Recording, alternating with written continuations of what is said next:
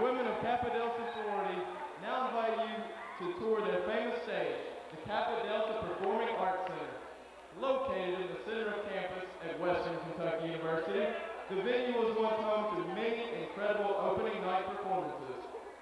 The audience's laughter, applause, fear, and emotion filled the hall for many years. While performers were best in the business, an unknown being prevented many shows from running their full course.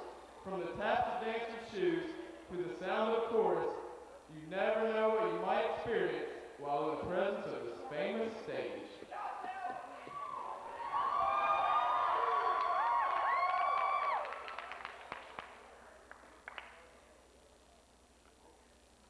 Okay, everyone, let's quit wondering and stick with your tour group. Of all the buildings we've seen at WKU, the Kappa Delta Performing Arts Center is by far the most intriguing. Across the stage, and dressing rooms filled with the performers' personal belongings. The hall hasn't changed much since the audience left many years ago. As we walk through the stage area, pay close attention for a glimpse of the productions that once filled this now empty venue. This mysterious place once held packed audiences for Broadway's most famous productions that never made it to their last curtain call. While some may claim it's haunted, others argue that Kappa Delta Performing Arts Center is simply of history.